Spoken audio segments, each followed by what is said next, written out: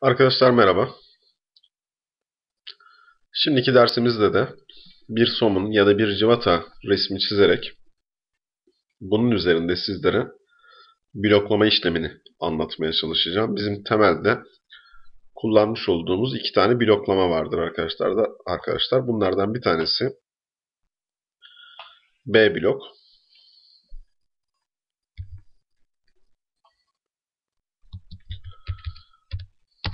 Diğeri de W blok. Birisi right blok diye geçer, biri de sadece blok ismiyle geçer. B blok çok kullandığımız bir seçenek değildir. Çünkü B blok sayfa içi bloklardır. W blok ise right blok anlamına gelir. Hatta bu konuda bazı YouTube sitelerinde bunu genelleyebilmek için Word blok, dünya blokları yani her yerde kullanabileceğiniz bloklar gibi isimler verilmiş. Mantığı açıklaması doğru ama Word blok ifadesi yanlış. Right blok olmalı. Şimdi öncelikle B blokla bir başlayalım. Sayfa içi bloklar ne demek? Civata ya da somun resmini daha sonraki örneğimizde çizmeye çalışacağım arkadaşlar. Şimdi böyle bir tane parça çizdiniz. Command satırını sadece B yazıp Enter'a bastığınızda bunun ismine de deneme 1 dediğimizde obje seçtim. Base point'in olduğu yerdeki peak point. Yani ben bunu çağırırken nereden gelsin? Şu noktadan gelsin. Açıklayıcı bilgi. Okey dedim. Bunu bir blok haline getirdim. Blokları çağırabilmenin yolu her iki blokta da aynı şey geçerli arkadaşlar. Insert. Kısa yolu I'dır. Bunları ayrıca diğer sayfalar içerisinde insert sayfası içerisinde de görebiliriz. Blok düzenleme içerisinde görebiliriz. Express içerisinde görebiliriz. Ama inanın hiç aklınızı karıştırmaya gerek yok. I yazıp Enter'a basıyorum. Deneme bir isimli blok çıktı. Okey dedim. İhtiyacım olan bloğu kullandım. Sonra scale kısmının olduğu yeri 0.5 yaparak bunu küçülterek aldım. Sonra küçültmekle kalmayıp buna 45 derecelik açı verdim. Açı vermekle kalmayıp 0.5 explode dedim. Yani patlatmayı da aynı zamanda gerçekleştirdim. Bakın blok Bakın blok ama bakın blok değil. Parçalanmış. Şimdi bloğu oluşturduk ve çağırdık. Ben bu sayfayı kapatıyorum. Bu sayfayı kapattıktan sonra başka bir sayfa açıyorum. Şimdi I enter dediğimizde I enter dediğimizde blok çağırma kısmı gelecek ama gördüğünüz gibi burada deneme bir isimli bir blok yer almayacak. İşte bu yüzden B bloklara sayfa içi bloklar deriz. Gelelim W bloğa. Bunun için makinacıları yakından ilgilendiren bir somun uygulaması çizmeye çalışalım. Metrik 20 bir somun. Metrik 20 somun için E mesafesi dediğimiz yani köşegenler mesafesi 2 tane D kadardır yani 40.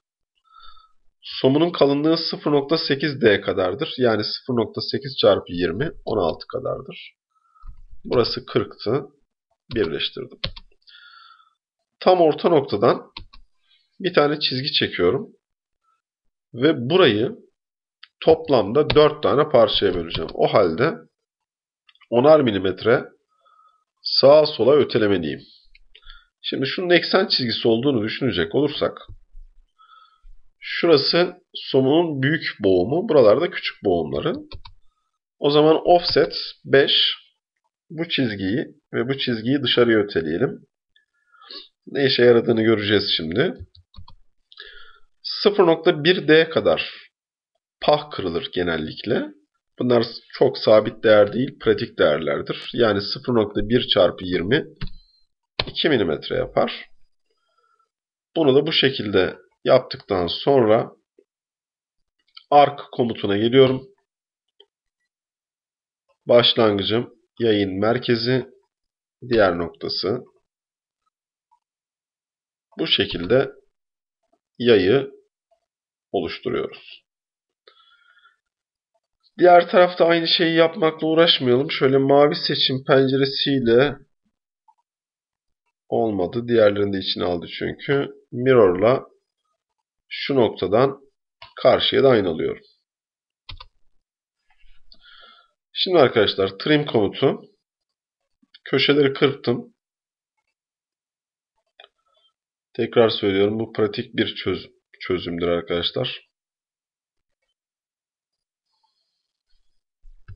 Şunu hiç kırpmakla uğraşmıyorum. Bunları siliyorum.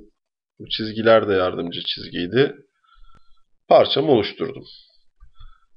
Geldik bloğumuza. W Select Obje seçtim sağ tuş base point'in olduğu yerden pick point bilgisi bu noktaya tıkladım. Ve şuradaki düğmeciye tıklayarak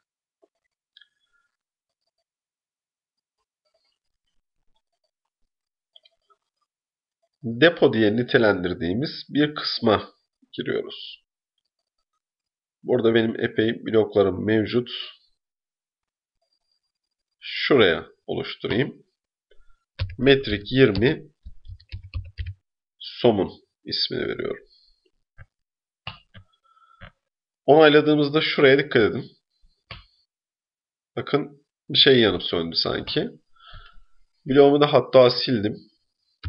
I enter browse kaydettiğiniz yeri bilmek zorundasınız.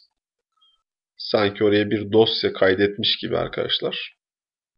Metrik 20 somun. Hop geldi. Tekrar enter dedim. Aynı şeyler burası için geçerli. Patlamasın. 0.8 ile çağırırsam ne geldi? Metrik 16 geldi. Metrik 16 çarpı 2 32. Bakalım. Evet.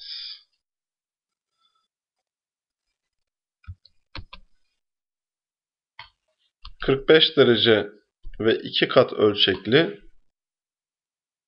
yine geldi. Az önceki örneğimizde yaptığımız gibi sayfayı kapattım. Başka bir sayfa açıyorum. Hatta çizimlerin olduğu bir sayfa açalım. Şu polar uygulamalarını yaptığımız sayfada hiç alakasız bir sayfa gördüğünüz gibi. Yine I enter dedim. Browse gelecek karşımıza. Metrik 20 somunumuz hep ama hep orada kalacak.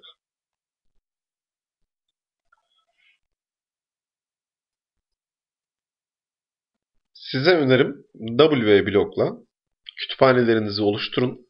Bunun için de hard diskinizde bir klasör oluşturun. Çokça kullandığınız, çokça çizmiş olduğunuz nesneleri buraya taşımaya çalışın. Yine size bir önerim daha. Bu da benimle hiç alakası olmayan bir internet sitesi ama benim de kullandığım ücretsiz üyeliği olan birçok parçayı burada bulabileceğimiz bir internet sitesi arkadaşlar. Google'dan aratırsanız kendi mesleğinizle alakalı bilgilerde bu siteden faydalanabilirsiniz. Son olarak kontrol 2 yapın arkadaşlar. Kontrol 2 yaptığımızda şurayı şöyle birazcık genişleteyim.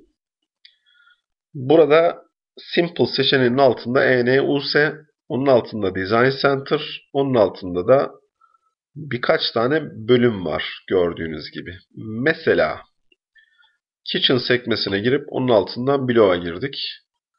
Bir mutfak çizdiniz de onun içerisinde bir fırın almanız gerekiyor. Ya da mutfak evyesi, evyesi almanız gerekiyor. Neyse artık böyle basit anlamda çizilmiş resimler var gördüğünüz gibi. Seçtim sağ tuş copy. Kapattım. Ctrl V yaptığımda çok büyük küçültebilirim. Bakın scale 0.1 dedim. Oldukça bunu küçülterek, inç olduğundan dolayı küçülterek aldım. İşte bu musluktur, ağaçtır, pencere, cam, kapı, civata, somun, rondela gibi hazır makine parçalarını mümkün olduğunca internet sitelerinden, ücretsiz internet sitelerinden almaya çalışın arkadaşlar. Sonra land spacing içerisine giriyorum. Bir araba bakın. Sağ tuş. Copy demiştim biraz önce. Insert block diyorum şimdi. Çok büyük araba 0.2 kat sayısıyla gelsin dedim. Götürdüm arka planda bir yere attım. Z enter, A enter yaptığımızda araba karşımızda. Kim uğraşır bu arabayı çizmekle? O sayfayı birazcık kurcalamanızı tavsiye ediyorum. Yine benim internetten indirdiğim birkaç tane de örnekle bu söylediklerimi desteklemeye çalışayım. Bakın bunların hepsini ben çizimlerim içerisinde kullanmaya çalışıyorum. Mesela Net Cars Elevation, taşıyıcılar, arabalar. Bunları toplu olarak indirmiştim. Toplu olarak indirdiğimden dolayı blokların hepsi birden gelecektir. Tek olarak oluşturmanız iste, oluşturmak istediğinizde ise bunları buradan kopyala yapıştırla sayfanıza alabilirsiniz. Sayfanızda böyle bir araca ihtiyacınız varsa çizmeye uğraşmayın. Vakit kaybetmeyin. Vakit kaybetmeyin. O halde benim size anlatacağım konular içerisinde bloklar da ölçülendirmeler kadar, katmanlar kadar oldukça önemli arkadaşlar. Bir sonraki dersimizde görüşmek üzere. Hoşçakalın.